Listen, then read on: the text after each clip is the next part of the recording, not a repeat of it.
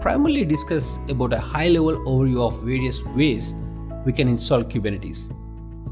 This is just a very short video. It has barely one slide. But this gives you a very good clear idea about what are the different ways we can install Kubernetes. So let's get started. First, let's start with Play with K8s. In case if you are familiar with Play with Docker website, then Play with K8s is designed in a similar way. This is ideal for someone who does not want to install anything on their system or laptop, but want to do a quick testing or a learn about Kubernetes. And this is a ready-made Kubernetes cluster available online. All you have to do is just visit the website https labs.playwithk8s.com or just simply Google it to try this out. And we have a dedicated demo on this following current video. Next comes the Minikube. Minikube is ideal for someone who want to install Kubernetes on their system but has a very limited system resources. So the key takeaway point with Minikube is you do not have a separate Kubernetes master and a Kubernetes node worker node architecture. You get all Kubernetes components packaged into one. It is all-in-one setup.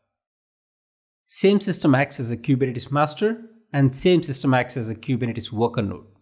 And we have a dedicated demo on this as well. Next moving on to Kubeadm. Kubeadm is a way to go if you want to get actual real-time setup. We can do that using Kubeadm tool. Using that, you can set up multi-node Kubernetes cluster. And this is one of the popular installation methods of Kubernetes. So depending upon the system resources you have, you can create multiple VMs. Then you can configure Kubernetes master and node components. In case you have a limited system resources but want to use Kubeadm method, then you might want to spin up cloud-based VMs. This is exactly what we are going to do in this course. We have dedicated video on this. So that's about the Kubeadm. Besides these three, there are other three popular cloud-based platforms which offer Kubernetes service on their platform. They are Google Kubernetes Engine, Amazon Elastic Container Services for Kubernetes, and Azure Kubernetes Service. So what's common and cool with these cloud-based Kubernetes services are all you need to define is how many nodes in your cluster should be and the size of CPU and RAM each node should contain. So once you fill all these details, and submit, then these cloud services will automatically set up Kubernetes configuration and takes care of whole lot of things.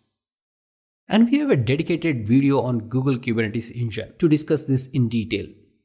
So that's about the high level overview. So without much delay, let's start with our next topic and that is Play with K8s. As we discussed, Play with K8s is one of the easiest way to install and use Kubernetes. And in that video, we'll discuss what is Play with K8s, how to create Kubernetes cluster on Play with K8s, and test the deployment to make sure our configuration is working as expected. And finally, thank you so much for watching this and I hope to see you in the next video.